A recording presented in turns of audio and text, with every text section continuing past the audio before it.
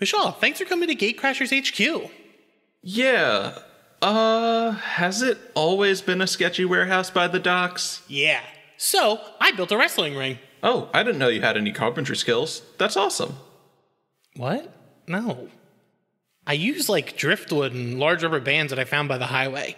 But what I wanted to test out is jumping from like the turnbuckle thing. Um, yeah, you know what? You you go first. I'll watch. Oh yeah, brother. I'm gonna be the people's champ. That went better than I thought, honestly.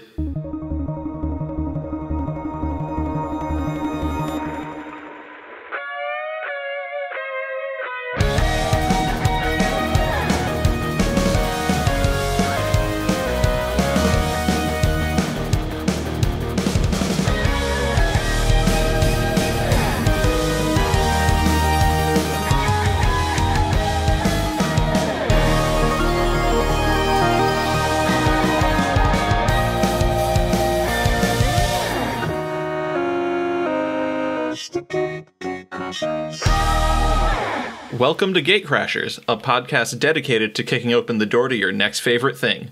Our mission, our creed, our code is this to make all nerdy things more approachable and accessible to everyone. We want you to find a universe that you'll fall in love with. I'm Vishal Golapali, and my pronouns are he, him. And I'm Dan. I use he, him pronouns. Hey, how are you? I'm glad to have you on the show. Yeah, I'm glad to be here. It's been a while. Yeah, this is our um, second wrestling episode. This is my second wrestling experience. Nice. When, all right, let's talk about that. When did you get into wrestling?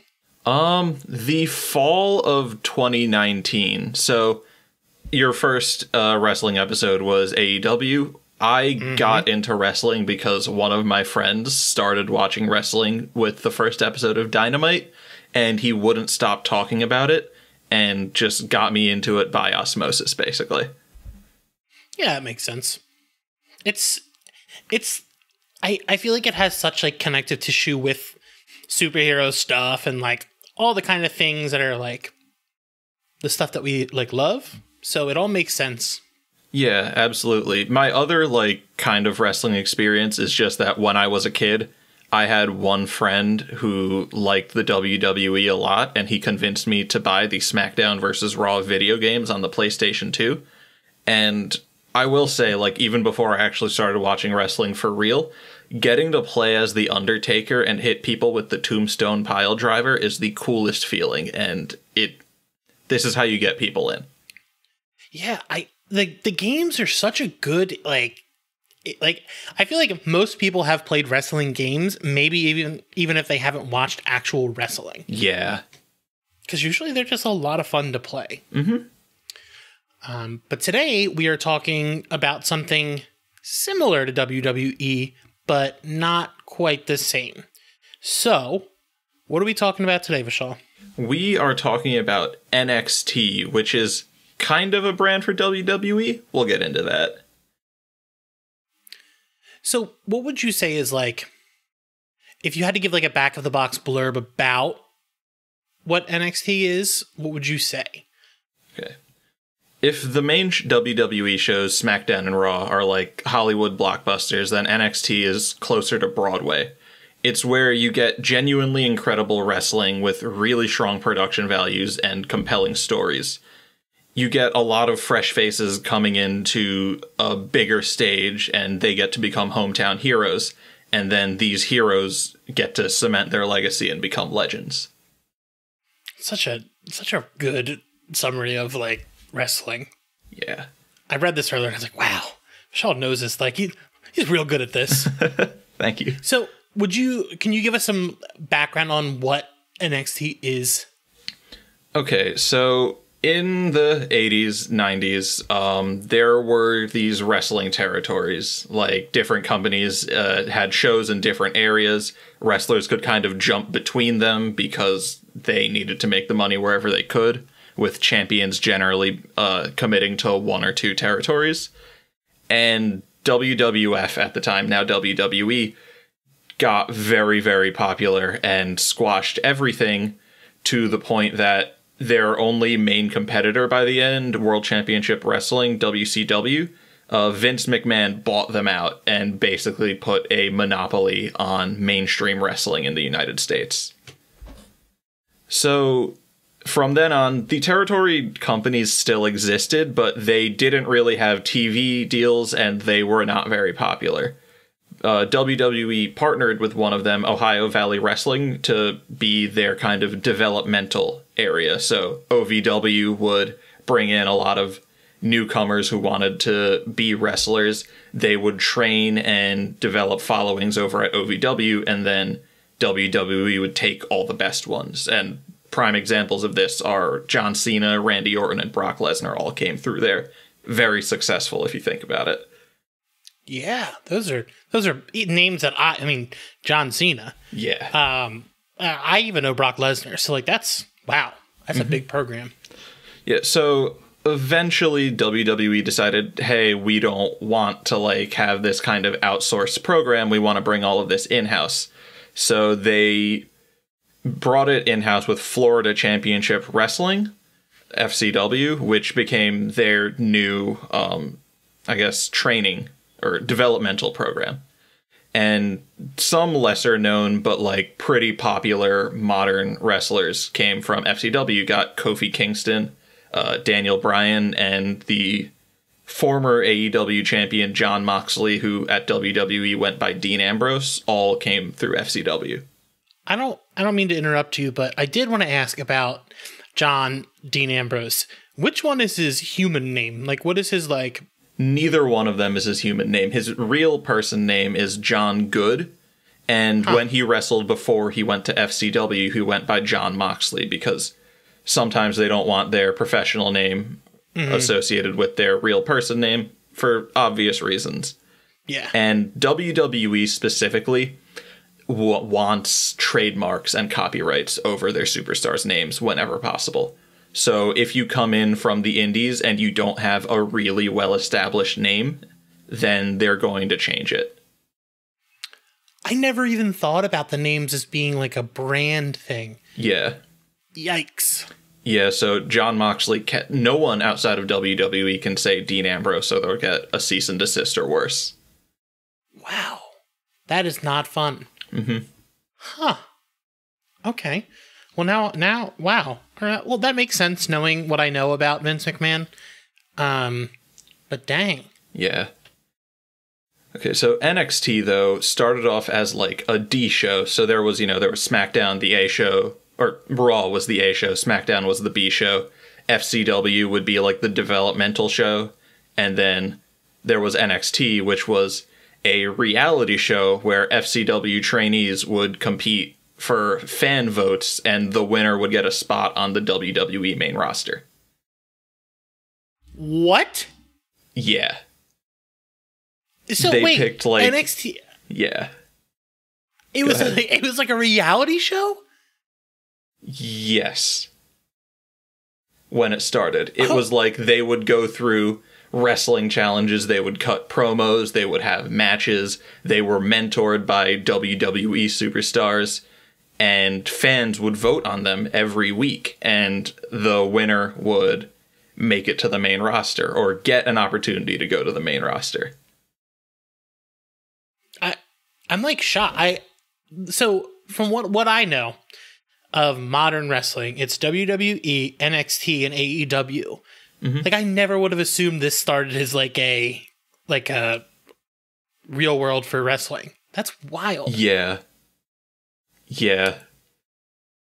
The original NXT, the reality show era of NXT, wasn't really great. It had four complete seasons. The fifth season just kind of kept going on and on and on until they just turned it into what it is now. But the first four seasons, the winners were Wade Barrett, who was mentored by Chris Jericho, and he got injured and is now a commentator for NXT. So not great, but he mhm. had a decent little tenure at WWE, won a couple championships. His story was also the best spinning out of early NXT because he formed a group called The Nexus with all of the people in that first season of NXT. And he brought them in and were like, hey, these guys also all deserve opportunities and they like came in and started beating people up. It was great. It's a good gimmick. Yeah. Then after that, uh, they had a guy who is now known as Low Ki, who won season two of NXT and pretty much immediately left WWE. He's not there anymore. Does he do anything else now, or He just wrestles at Impact, I believe, but I don't follow like most American wrestling outside of WWE and AEW. okay? Impact is the Tuesday night one, right? Yeah, they just moved to Thursdays, but yeah. Is that the one that Kenny Omega went to? Yes. Okay, all right. Um, there was Kaitlyn who retired from WWE in 2014 and has her own business and stuff now. I think she came out on top there. And the last winner of NXT was Johnny Curtis, who is now known as Fandango. And he had a pretty bad time on the main roster and went back to NXT fairly recently to win his first ever championship. Huh. And this was all like 2010 to 2013. Mhm. So then after that, WWE closed down FCW and moved all of their talent to NXT or the main roster and let the rest go. So uh, Jon Moxley, Dean Ambrose, he came in directly from FCW. He didn't go through NXT. So he went. I I don't say this in a way to be um, negative of the brand, but is this like you've got the varsity, which is WWE, and this is like the JV, Yeah, or is it like okay? yeah, right, it's, makes- it's pretty similar to that. That makes sense in my my squirrel brain. And that's definitely what NXT was for a while. So then, after they moved fully to NXT, WWE announced Arrival, which was an event on the WWE network, which would kind of make NXT a new mainstay for the company and turn it into like not a solid brand, but like, hey, this is a thing you should watch. And from there, it really took on a life of its own. Arrival is was a really fun little show, and the talent on there was really good, and people wanted to watch more, and it kind of kept going from there. So, oh, you go ahead. Sorry. Yeah, I was I was going to ask about what some of the major storylines have been so far. Yeah, so right spinning out of Arrival, the match of the night, the one that got everyone talking about NXT was Sami Zayn versus Cesaro, which the story going in was Sami Zayn is a guy with all the heart in the world, and Cesaro is one of the best like in-ring wrestlers ever. And all Sami wants is for the respect of Cesaro. And this is their fourth match. They have had three brutal matches together, and Sami is desperately trying to get Cesaro to just recognize that he's talented. And they burned the house down. They did an incredible job, and people who were already watching NXT at the time already loved Sami. People who started with Arrival fell in love with Sami. And from there it he was kind of the main character of NXT. The rest of the story continued on to him fighting his former friend Adrian Neville to win the NXT championship and then having his actual real life best friend Kevin Owens join the roster and then betray him and beat him up. Oh, Sami and Kevin had a little feud, and then Sami got injured, and things kind of kept moving on. But it is very safe to say that, like, NXT exists because Sami Zayn did such a good job convincing everyone it was worth watching. There's some other pretty important stories there, too. The four horsewomen were Becky Lynch, Charlotte Flair, Sasha Banks, and Bayley who all went through NXT. All four of them are ridiculously good wrestlers. All four of them are top stars on the main roster today. They got their initial following in NXT and specifically turned what WWE called Divas Wrestling for like decades into now women's wrestling. Charlotte Flair specifically got rid of the Divas belt and replaced it with the WWE Women's belt. that's awesome. I, I actually didn't know Becky started in NXT. Yeah. That's news to me. Huh. Yeah, Becky is the only one of them who never won the NXT championship, which is f- pretty ironic because of the four of them, she is by far the most popular. Yeah, I I would say so. I know I only know Charlotte Flair because of their rivalry. I worked with Becky for a bit, uh, like her more so Seth, but um, like I try to follow that story a little bit. It's it's that's interesting that you came from here. Yeah.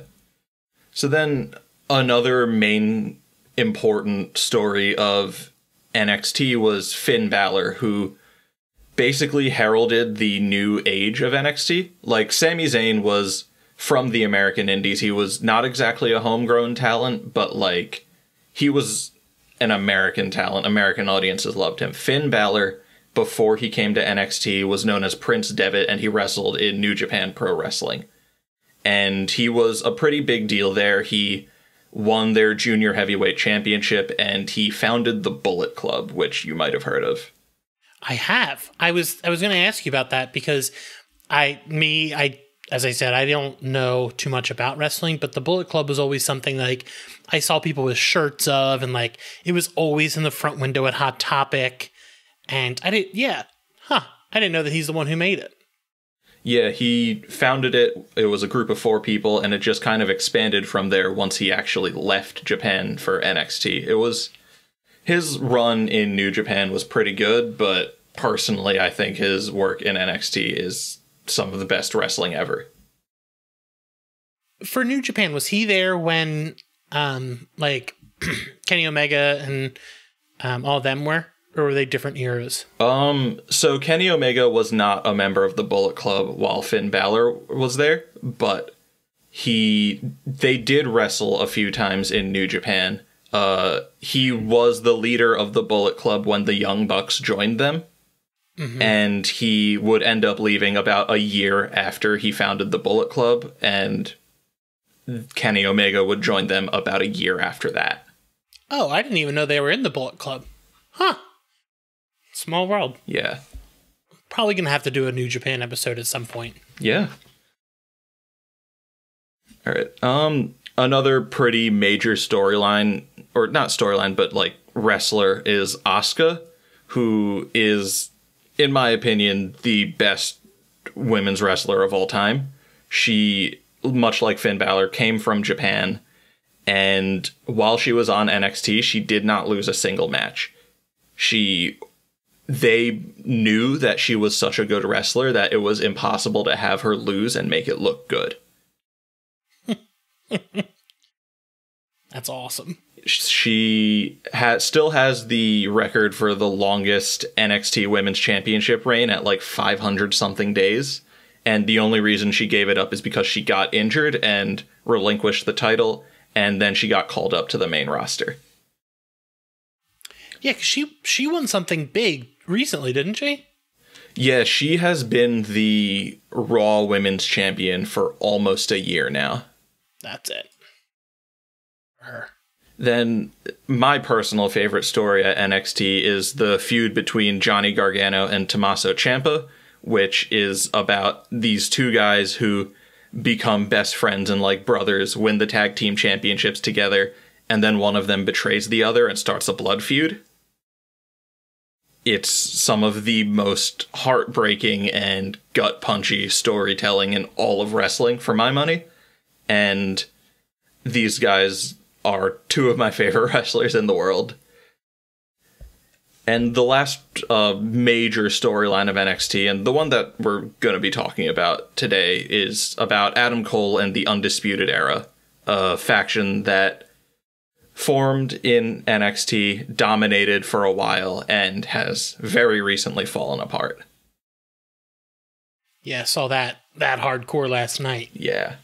So, what would you say are like some major themes of NXT?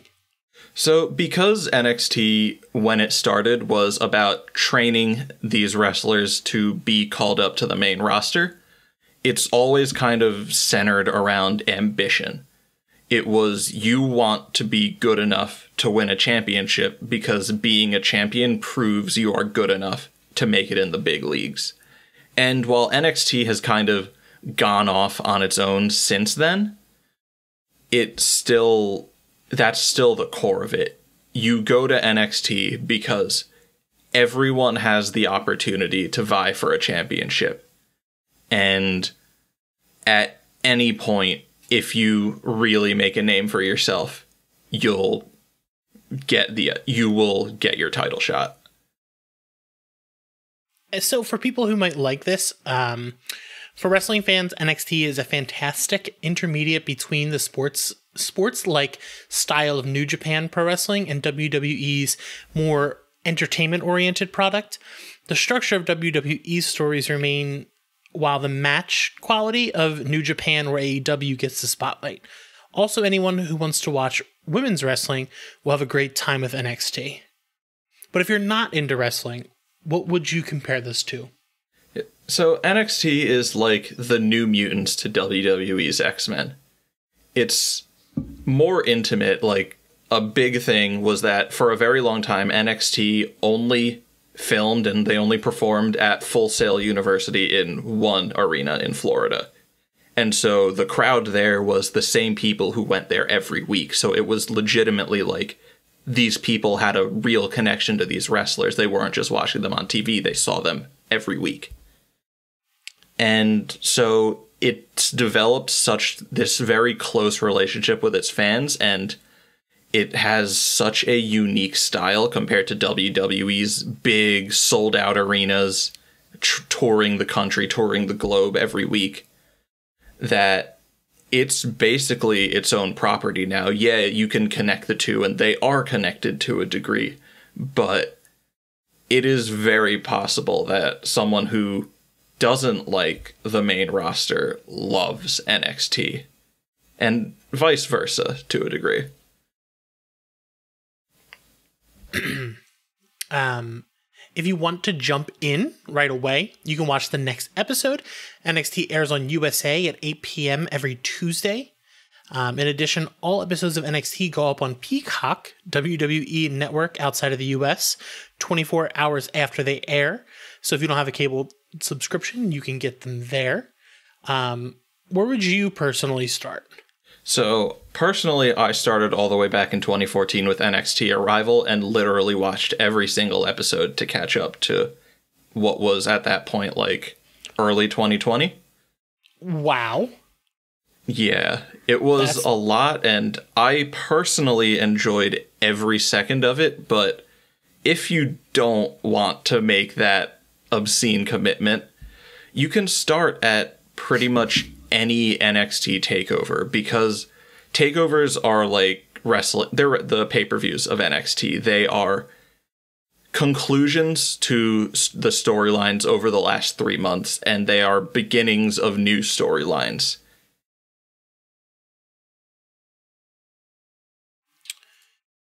And Oh, uh, sorry. The most recent NXT takeover is Takeover Stand and Deliver, which aired uh, Wednesday, April 7th, and Thursday, April 8th. It was the only two night takeover so far, and as we're talking, it was literally yesterday.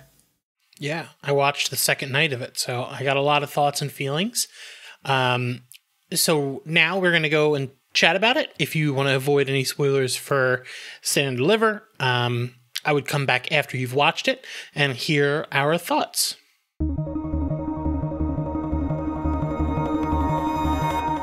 First, I just want to talk about my feelings towards NXT um, because uh, this was my Stand and Deliver was like my first actual experience with it.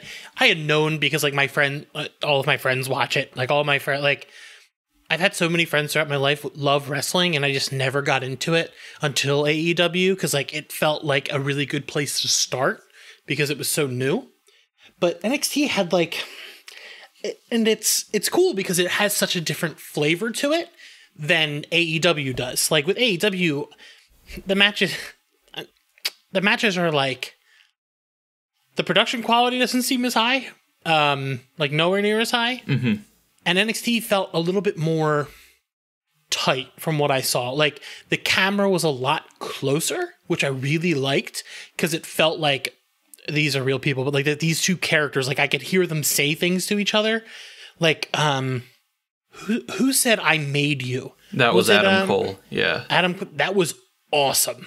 Like that whole fight, like they they did like a cool sizzle reel before to kind of explain the story, but like knowing that little bit and then watching that and like hear him say something like that and like kick him was awesome. Yeah. Um, the uh, skulls at the stand and deliver were incredible. Like it was a really well designed and like tight space that it, it didn't feel anything like wrestling that I'd seen before. yeah. Um, and I was gonna say it opened with Poppy, so that was a big one for me. That um, that's that's what really drove it home. Starting with that, I'm a huge Poppy fan. Um, I actually interviewed her, so I was super excited. Um, and she's she's performed at NXT before, right? Yeah, she um played Io Shirai's theme uh for one of her matches once. She played her she played her entrance basically. Huh. That's interesting. Um but I, I really liked NXT. Like I, I went in like kind of expecting WWE when I really shouldn't have. Mhm. Um and you mentioned it offhand. So Stephanie McMahon is Vince's daughter, but she's married to Triple H. Yeah, and Triple H runs NXT. So it's like his thing. Mm-hmm. Does he still wrestle or like or does he do like how Vince used to do? Um he doesn't even show up like Vince used to. He has like shown up a handful of times in the 5 years of NXT and really only for really important stuff like oh when uh, arrival happens, he did a little promo in the ring to start the event, stuff like that. He doesn't wrestle anymore. Oh, that's awesome. I like that he has a more hands off um not ownership, but like, you know, like he runs the joint. Yeah. Um but I I was super like it just felt like the production quality was a lot higher than what I'd seen before. Um don't really love the screens. Yeah, that was new. Uh, NXT's production quality is always at its best at takeovers because these are their big, once every few months events. And they go all out. Like the skull was brand new for this takeover. For takeover 30, they had a giant X in the middle of the stage, kind of the same way. The screens I had never seen before. That was Does weird. WWE do the screens? Um, WWE does does the screens, but for me it's even worse. So they don't have a live crowd. They have screens of fans all through like where the crowd would be. So not just in the back. It felt like a weird like 1984 like everyone was watching these matches like I, I don't know what's going on. But I I that's so cool that it was filmed at Full Sail. So like it was like these art college students going to see this every week or was it like locals as well? Uh, both. Yeah, locals and people. Like one of my friends uh, who lives in Jacksonville would drive down every couple weeks to catch a show. Back when they would film at Full Sail. In 2019, they started actually touring with their shows, which was kind of sad and changed the vibe of the show a lot. But like, they have a much bigger audience now. So I I watched a couple matches that weren't in um Stand and Deliver. So I watched Finn Finn Balor versus Pete Dunne at NXT Takeover Vengeance Day. Mhm. Is let's talk about like actual fighting. So is Finn like a grappler? Like what is his style? So when Finn first started at NXT, he was kind of this really quick high flyer. Like you've seen him do the jump off the top rope where he just mm-hmm. steps on them. That was like he was younger. He jumped around the ring. He kicked people a lot, but that was in 2014 and 2015. And in 2020 and 2021, he has significantly changed his style to be a lot more gra- do a lot more grappling, do a lot of mat wrestling, and mm-hmm. show off that he's not just a guy who jumps around. He is a very technically proficient wrestler too. So my brother is like a like a state champ wrestler, like a regular wrestler. Like I don't I don't know what you call it. But watching this match felt more like a I don't don't don't come at me when I say real wrestling, but like like the sport wrestling more than the entertainment wrestling. Yeah. Like I felt I felt like I was really watching like them try to like go for points. Um it is that something that is always relevant in NXT or is that just like something that he, he used to do? That's specific to wrestlers. So Pete Dunne has always been that kind of wrestler, and Finn Balor changed his approach to be more like that fairly recently. Mm-hmm. But yeah, it's very much up to the wrestlers, and it leads to a lot of diversity in match styles. So you'll get some high flyers flipping around and doing crazy stuff, and you'll also get people like Finn Balor and Pete Dunne driving each other into the mat and trying to make it look as real as possible. And personally, I have a lot of affection for the high flying stunts, but Oh, yeah. When it looks real, it is the best possible product for me. Yeah, it it a lot of the NXT stuff looked re like it, a lot of all right. Listen, you're not jumping off high ropes and hitting the floor and it not you not feel something. Um, so I never want to like act like it's not real, but like a lot of you know the hits Yeah. aren't like they're not hitting each other to hit each other. Um, and it's I think I might have this in the AEW episode, but it's kind of like ballet. Like every every move is so beautifully done Yeah. like it's meant to look like you're you're hitting, but like it's you know that it's not, but you suspend your your disbelief because it's fun. Mm-hmm. Um, and the other match I watched before I watched I watched clips of a couple others, but I watched the Finn Balor versus Adam Cole on NXT um, from March tenth, twenty twenty one. Um, this one is also uh, some comments and questions about fighting style. Finn is the one jumping on Adam's chest, right? Yes. That had to hurt. Like those moves, I, I know there's like a like there's a art to it, but that looks like he jumped on that dude's chest. I was like, holy crap! Yeah. it's awesome. Yeah. So Finn is, I think, if I had to choose one, he is my favorite wrestler in the world. Mm-hmm. And it was entirely because when I was watching that classic NXT and I saw him do that finisher for the first time, it was incredible. Like, having watched it over and over again, I can see how he shifts his balance a little bit to try and minimize the amount of actual damage the guy takes. But mm. no matter what he does, it looks nasty and it still has to feel nasty. Yeah, that's if anyone touching your chest with their feet is not fun. I, oh, besides, um, okay, tell me about that. Do they like? I'm I'm from a fighting game mindset. Do people have like finishing moves and like special moves like they specifically use? Yes, it is.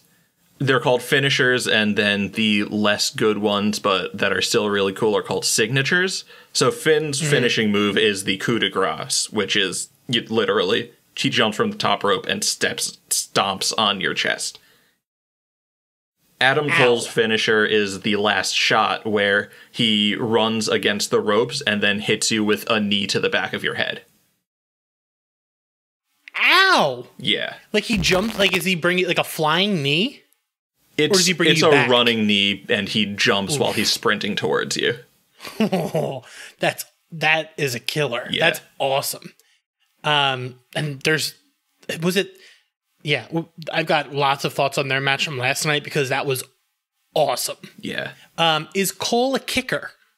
Yeah. He uses his legs a lot. His he kicks and he uses his knees all the time. But he's also he has stuff like, you know, he'll put you on his shoulders and then drop your neck on his knee. Ouch. I felt that's what I like. I really liked about watching these different NXT clips is that I felt like I could pick up on those things more than I could with AEW. Like I could see people's signature. Like I was like, oh, this this dude's a kicker. Like he's like doing this kind of stuff. That's how he fights and like the grappling and things like that. Yeah. I felt like it was a lot more technique based, which was cool. Mm-hmm. Um, but let's let's talk about stand and deliver, um, because there was something that made me an automatic fan of NXT. And listen, anyone who listens knows I have an affinity for the best way to describe it is clown girls. Um, and Ember Moon and Shotzi Blackheart came in came out in a tank with like all this neon clothing and a, like I was like, "Oh, I think I like NXT now." and then I don't remember. I think it was um, someone in the Discord sent sent a picture of Shotzi with a Freddy Krueger glove on. Mm-hmm. I was like, "Uh oh, this is uh, this may have awoken something in me." uh, they the the women's wrestling in this, I AEW didn't feel like it had any women's wrestling until I saw um, oh, I'm blanking on her name. Um, I'm a simp for liking her. What is her name? Uh, Maki Itoh? Ma- Maki Itoh. Until I saw Maki Itoh, it didn't feel like they had any uh, female representation. I was like, oh, I love her. Yeah, they have But- recently gotten into it, but it was a big criticism of the first couple years. Yeah, and that's how it kind of felt when I started watching it. But this, like, it was like headliner, and it it was cool. Like, I really enjoyed that because it did, as you said, they weren't like it didn't feel like divas. Like when I was growing up, it kind of felt they were never treated as like equal as everyone else, and that was never really cool. Like I remember, Chyna was one of the big ones when I was growing up. Um, so like those people never really got like their fair shake. And I felt like when I saw Ember Moon and Shotzi Blackheart, like that match was awesome. Like it like went from zero to hundred quick. Yeah. All right. Do they have special do they have special moves that you can tell me? Yes, so Shotzi's isn't great. So Ember Moon, Shotzi Blackheart, I like them as a team because Shotzi is a little bit r- rusty in the ring, but she makes up for it by having a very distinct look and a very fun character and personality. Mm-hmm. Ember Moon has kind of tended to lack in a distinct personality, but she is one of the best wrestlers in the ring, so as a tag team, they're really good together. Shotzi's finishing move is this they call it a senton, but I never really understood what that meant. She jumps off of the ropes and like leans back and lands on you with her ass. Oh. Okay. So like she just kind of like She Like yeah, she falls like back first or butt first onto her opponent. and how long have they been wrestling for um NXT? So Ember Moon actually was an NXT champion. She was the first NXT champion after Asuka left, but she went up to the main roster, didn't have a great time there, and came back down last year. Shotzi Blackheart wrestled in the indie circuit for a very long time before being picked up for NXT. I think also last year. Huh. Like did they come I'm trying to think like how were they from other leagues? Like do they get like not like pulled up into the big leagues, but do they get like recruited? Is there someone going out to like events to see wrestlers they want for their leagues? Yeah, so that's a big part of Triple H running NXT is that he pays attention to wrestling outside of WWE and he sees who people are excited for and who's really talented and he will send, you know, NXT people out to like talk to them and be like, "Hey, do you want to wrestle for NXT?" And because of how WWE is, it may not always be the best choice for a lot of wrestlers, but for a lot of other ones, it is a great opportunity and a great way to get an audience. Yeah, I- and this is the only way I can compare it because this is the only mindset I know. It's kind of like working for Marvel or DC. Like everything you create really isn't yours to a point. Yeah. Like you're getting paid well, but like you don't get to keep your toys at the end of the day. Yeah. Like you, but instead of you writing a character, you're you, and they own that, which is like another level of like weirdness. Mhm. Um, what did you think of their match last night? So I thought that it was pretty fun. It was probably of that night, it might have been my least favorite, but the worst takeover matches are still pretty darn good. And I had a really fun time with it.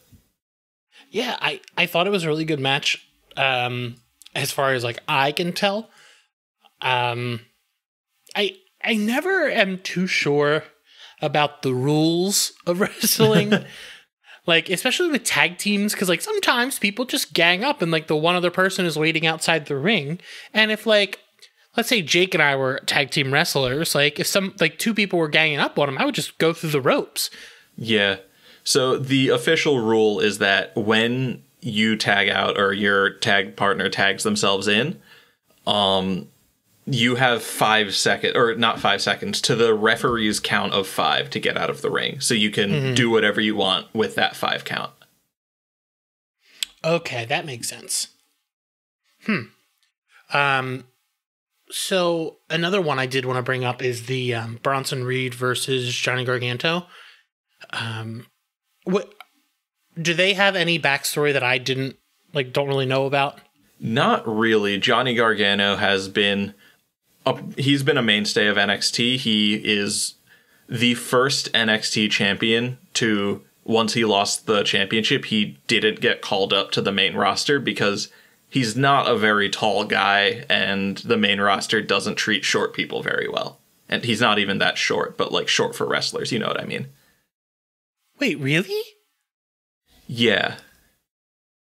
I you know what? I never even would have thought about that based on like height, but like I guess I that kind of makes sense to me. Like not like it's a good thing, but like I I can't think of like any superstars who are like short. Yeah, Rey Mysterio is the only real exception, and it's because he's Rey Mysterio. Is he still wrestling? Yes, actually, he's wrestling with his son, who is now old enough to be a wrestler as well. Good. I am glad for him. um, but so I really liked this match because, um, as a very large man myself, seeing Bronson like get up on the ropes and do everything that other people were doing was really cool to me. Um, did, how do they treat him because of his size? So they call him the thick boy, or they used to call him the thick boy, and it was always like something that he was part of. They never made fun of him for it. Mm-hmm. His current tagline is colossal because I think they wanted to avoid just insinuations of calling him thick. Yeah. but he is he's treated fairly well. He hasn't won a title yet, but he's still, you know, pretty solid NXT talent and they definitely don't like do any anything to like dunk on him because of his yeah. size or anything like that. They treat him respectfully. Nice. Because some of the moves he was like he was like lifting Johnny up by, with like with one hand by Yeah. his neck. That was awesome. Mm-hmm. I um, I fe- my favorite. This is like a generic one, but it is Andre the Giant because like I've only ever really watched his matches and like seeing how large he was, and then like his whole backstory has always been something that's super interesting to me. Um, and it's just like seeing larger dudes like wrestle is always cool to me because I am a I'm a big dude. So like seeing that and then knowing he's not really like a joke because of that is awesome. Yeah. Um, I did like that Johnny came out in like that iron that like children's costume Iron Man. Yeah, yeah. So Johnny is married to Candice LeRae, who was in the previous match, and someone drew fan art of him and his like little faction of him, Austin Theory, the guy he came out with, Candice, and Indi, and like drew them in superhero costumes. So Johnny was Iron Man and Candice was Thor. And for this takeover, they all made gear inspired by that fan art and like were very kind to the artist, and I thought that was really cool. That's all. I, I've always seen those.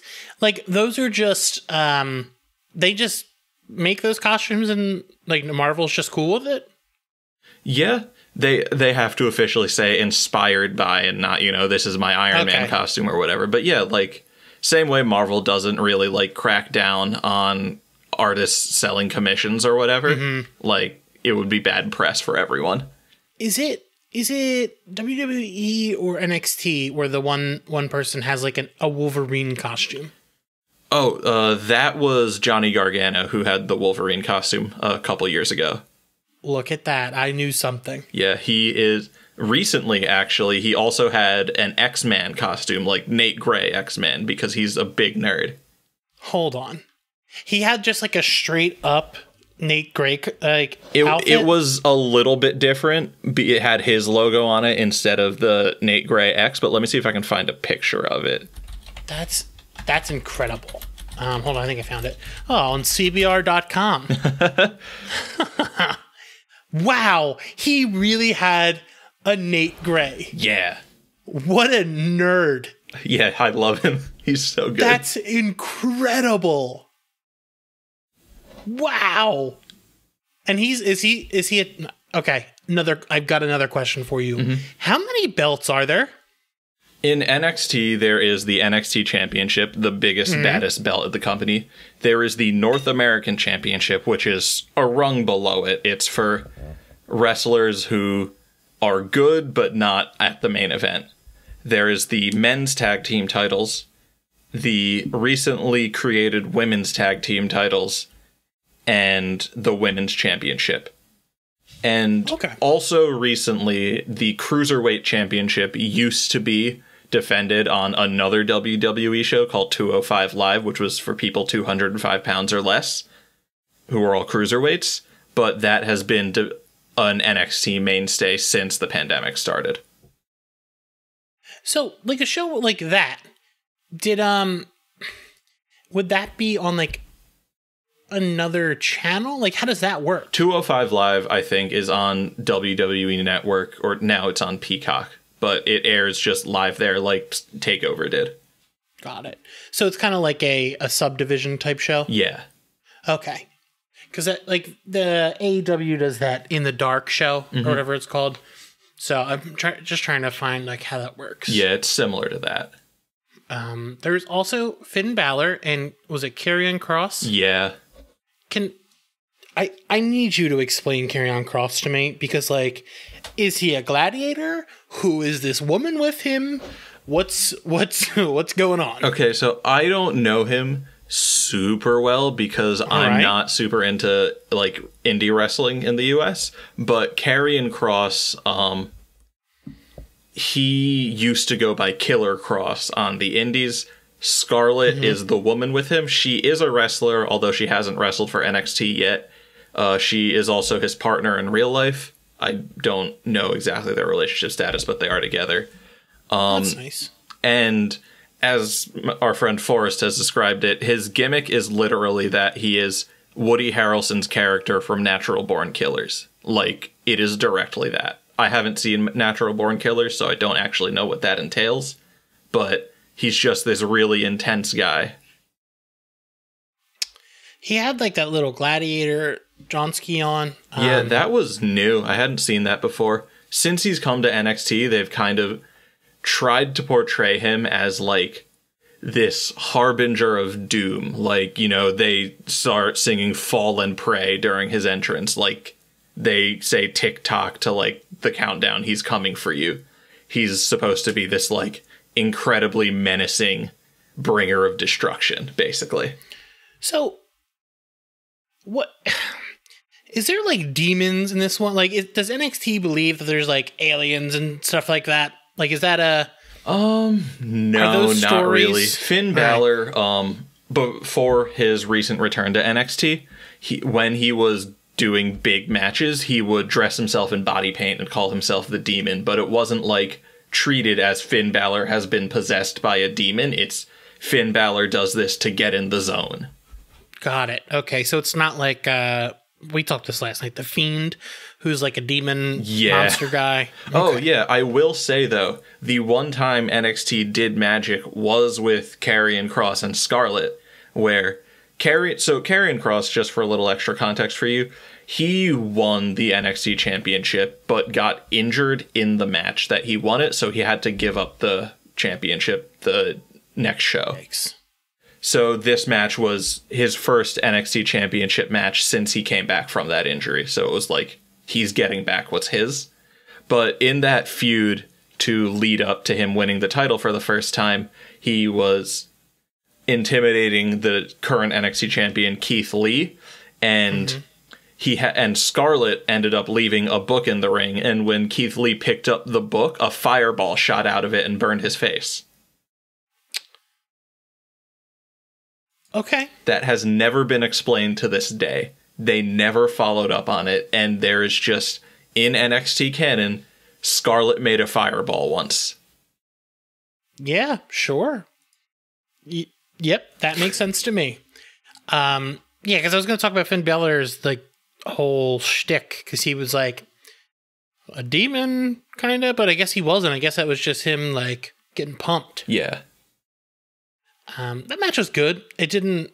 It didn't like blow me away, but I know the big one was Adam Cole and Kyle O'Reilly. So I would like to hear your thoughts first. I specifically didn't ask you about it last night because I wanted to hear your thoughts today. Yeah. So NXT has before this it has had exactly one unsanctioned match and it's one of my favorites of all time. So this one was a little hard to live up to that and I What still unsanctioned match Yeah. In storyline it basically means these guys have gone so far beating each other up that NXT is going to let them do whatever they want to each other. There Okay. are no rules. The only rule is that you got to pin your opponent for a 3 count or make him tap out. The referee won't do anything else. Okay, that makes sense to me because like all this stuff was happening. I was like, I mean, the ref was knocked out, but I was like, is there what's what's the rules on this one? Yeah, uh, in storyline, they have to sign contracts that say whatever happens here, like NXT is not responsible. You did this to yourself. Hmm. Okay, sorry to interrupt you. Yeah, no Go on. problem. So I really enjoyed the match. I have quibbles with it here and there, both comparing it to previous unsanctioned matches and stuff like that, but it was still a really enjoyable experience and well as enjoyable as it is watching two men beat the crap out of each other. And I was really into it by the end. There was a lot of crazy stuff going on. I um, my favorite thing was probably the chain. Yeah. I would agree. Um, because when he strung that up and like made it taunt and gave him the clothesline with it, yeah. I was like, oh, that had to hurt. Mhm. Um, oh man, it was, it was like, it got to a point where they were just like, nobody was doing well. Like both both parties were um just like just beat down to like shit. Yeah. they, they were done. Um, wh- so they've been friends for a long time. Is that the whole bit? Yeah, so the story going in strictly in NXT is that Adam Cole, Kyle O'Reilly, and another guy, Bobby Fish, joined NXT at the same time as a group called the Undisputed Era. And they mm-hmm. were these three hungry guys who eventually took on a fourth member. And they took, they were so good, they were such good compatriots that they went to the top. They all there was a point in NXT when all four members of the Undisputed Era had all four men's titles at the company. Like it was they were the dominant group. And then they started losing and then none of them had titles anymore. And Adam Cole was the face of the group. He was the most popular wrestler before they came to NXT. And interestingly, he was a member of the Elite for a little while before he went to NXT. He was best friends with the Young Bucks and Kenny Omega. Huh. Okay. And Kenny Omega and the Young Bucks never were at NXT, WWE, or anything like that, right? Yeah, before AEW started, WWE was trying to recruit them, but then they got a call from a billionaire who said they could start their own wrestling company, so they picked that one. Uh, indubitably. Yeah.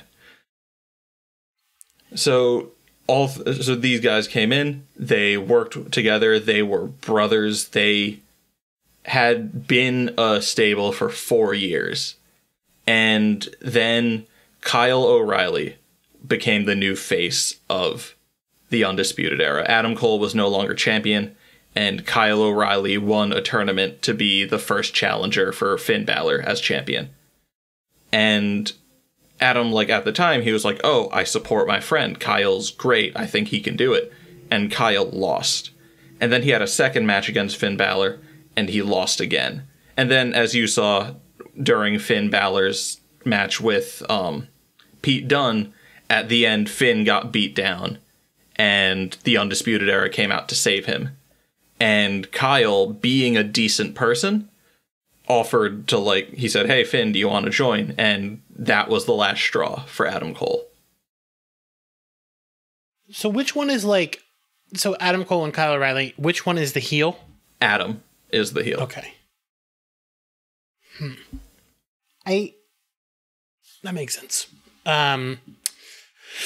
The match, the match was incredible. Like at one point, I can't remember who was on the turn. It's a turnbuckle, right? The yeah. corner. Yeah, the turnbuckle. Someone was on the turnbuckle and got knocked off, and then off out of the ring. Yeah. Yeah, I think that was Kyle. hmm Um. What? What was okay? What was your favorite part of the match? So you mentioned that one chain spot that was really good. I think my favorite part of the match was when Adam Cole and Kyle O'Reilly both fell through the stage. Yes. That was incredible. hmm Like when he put him through like the metal grate part. Yeah. And because he came out, like that was blood. Yeah. Like that that could not have felt good. hmm Um so now that that's over, like where do you think they go from there? So it's interesting because if I go just based on NXT's history, the last time they had an unsanctioned match like this was during Johnny Gargano and Tommaso Ciampa's very long feud, and it was mm-hmm. the first like big match that they had against each other. And from there they had two more pretty nasty matches. One was a street fight and then one was a last man standing match and they just, you know, kept beating the crap out of each other. So I could see them going like that. I could see them saying, all right, Adam Cole and Kyle O'Reilly will continue to fight each other because even though Kyle won, like, Adam's not going to forgive him, right? Adam's going to still try and beat mm-hmm. him up. But also, I think this ends with Kyle O'Reilly winning the NXT Championship. Because I don't think you break up the Undisputed Era, and I don't think you make Kyle O'Reilly a singles wrestler and have him beat Adam Cole unless you want him to go all the way. I And what nights what nights it's Tuesday comes on? Yeah, so it used to be on Wednesdays at the exact same time as AEW Dynamite, but because of some network issues, they are now moving to Tuesdays at 8 p.m. Eastern. Hmm. So it wasn't they didn't move because of um AEW. No, yeah, uh, they moved apparently because USA has some hockey content on Wednesdays now. But also, I think it's funny to say it was because of AEW, so I'm fine Yeah. with either. I um my like one last question is how often do people go from NXT to WWE or vice versa? Is that something that happens often? Yeah, it's fairly often that NXT wrestlers will go to the main roster. Usually, uh, someone who is NXT champion or is NXT women's champion, when they lose the championship, a few months later, they will show up on the main WWE shows. It is exceedingly rare for WWE people to go back down to NXT. It only really started happening because Finn Balor wanted to go back in 2019, and since him, I think only three other people have come back down. Huh. So why did Finn Balor go back down? He so this is kind of interesting trivia. So Finn Balor, um, when he he when he got the NXT championship back in like 2014, 2015, he had the longest title reign of the NXT championship. And when he eventually lost his title, he went up to the main roster where they immediately uh, chose him to win the WWE Universal Championship. But in the Universal Championship match against Seth Rollins, he got injured. He tore his shoulder. And he had to give it up the very next day. And ever since then, his career at WWE kind of floundered because they didn't feel comfortable continuing to invest in him because they, from their point of view, we invested in this guy. We gave him literally the top spot at the company, and then he was gone for six months. So WWE doesn't treat people who get injured well, and they especially don't treat people who get injured in big matches well. So he spent a while from 2015 or 2016, I think, all the way to 2019, just kind of messing around not he won their intercontinental championship which was which is like the NXT North American championship. He won mm. that a few times but he never really had a substantial career there. And at a certain point when AEW Dynamite started, NXT because they were in the same time slot, NXT decided that they needed to compete, so they brought down Finn Balor, who at that point was the most popular champion of NXT, former champion of NXT. And reports have it that he was originally only supposed to stay for like six months before going back, but mm-hmm. because of the pandemic, they just kept him there, and he ended up having the greatest stretch of his career. Yeah, I think I think just some people do better in different situations. Um, but yeah, this was this was great. I am wrestling's awesome. like I every time I talk about it, I just get more and more excited about the different things. So thanks for talking to me about this. Yeah, of course. Um, where do you have any projects you want to plug? Is there anything? Is there a place people can find you? Um, I don't really have any ongoing projects right now. Um, I guess I'm writing about Department of Truth for Comics XF, and I think that's the only thing I'm writing for them right now. You can find me on Twitter at vgola87. Um, I think that's the only social I have. Um, I write for Comics XF on occasion. I write for AIPT on occasion. I think those are the. Oh, I write and edit for Comic Book Herald. Don't tell Dave that I almost forgot that. I have to I have to actually write something for Dave this weekend about Resurrection Man. Ooh, exciting. The one the one guy out here screaming about Mitch Shelley. Love that guy. Um, but yeah, thanks for coming. Yeah, you can thanks for catch having me. us at Gatecrashers Pod on Twitter. You can find us at our website at gatecrashers.fan. We have a lot more content coming, um, and we'll see you next week.